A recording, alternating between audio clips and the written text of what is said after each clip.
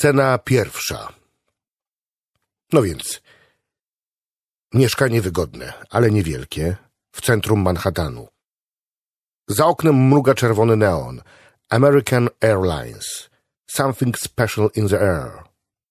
Rok 1982. Zima.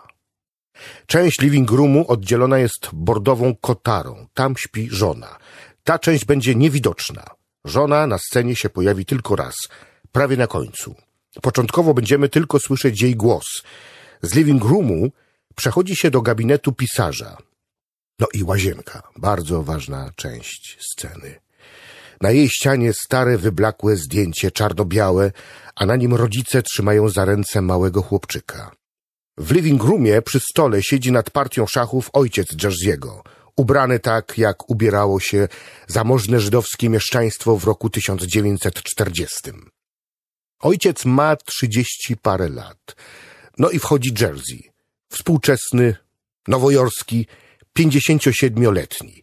Bo w tej sztuce czasy się będą mieszać i przenikać, jak to w życiu.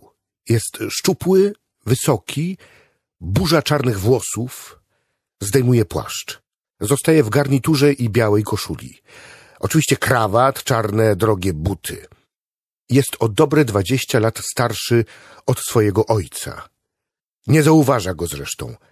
Natomiast ojciec unosi na chwilę głowę z nad szachownicy, odprowadza syna wzrokiem, wzrusza ramionami i wraca do analizowania partii szachów.